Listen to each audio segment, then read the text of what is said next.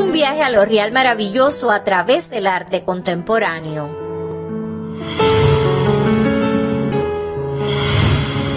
Soñar despierto es una muestra asignada por un elevado rigor estético.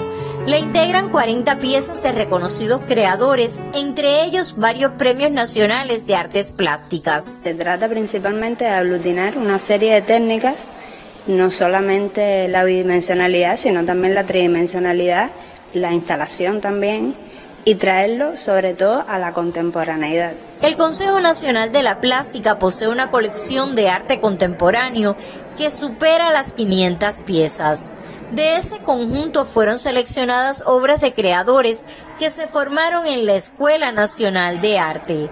Como detalle añadido, el proyecto curatorial propone el acceso a otras informaciones a través de un código QR. Este código pues nos lleva a un documento donde están todos los graduados de la, de la ENA. Un texto, o sea, que se tomó de un libro de Hortensia Peramo que tiene un, libro justamente sobre la Escuela Nacional de Arte en el cual, como anexo, incluye todos los graduados. Tras cada pieza de las que se exhiben en la galería El Reino de este Mundo está la historia de la enseñanza artística.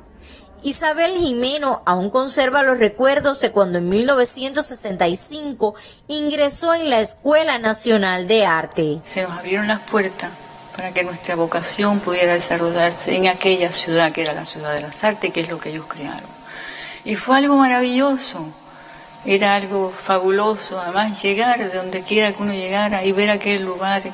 Teníamos los mejores profesores. Soñar despierto permitió el reencuentro entre decenas de creadores.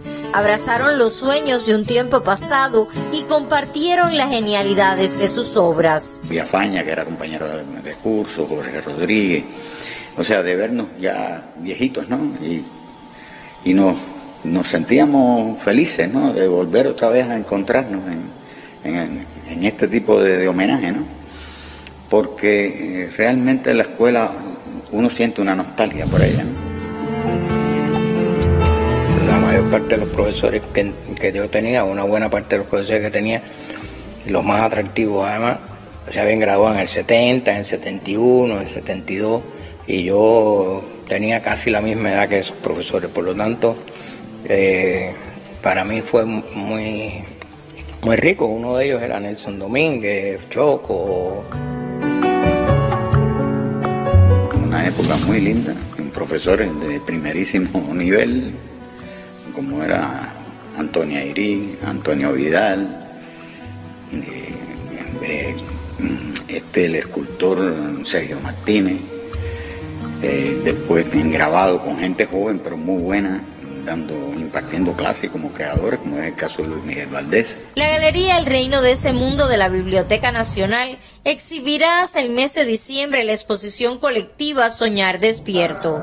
Durante la apertura, la presidenta del Consejo Nacional de las Artes Plásticas, Norma Rodríguez de Rivet, agradeció a los artistas porque sus obras forman parte de la memoria visual de Cuba.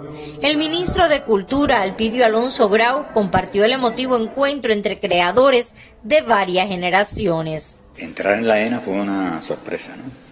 Porque es entrar en una escuela donde todo era arte, todo era literatura. Era algo que nosotros pensábamos que estábamos soñando. La escuela era un lugar de aprender, aprender, aprender y de soñar y de soñar y de soñar. La sala expositiva superó los límites de su espacio para acariciar los afectos y honrar a la Escuela Nacional de Arte, un centro referente dentro de los procesos culturales más importantes del país. Aleida Piñero Meneses y Jenny Fleites, Sistema Informativo de la Televisión.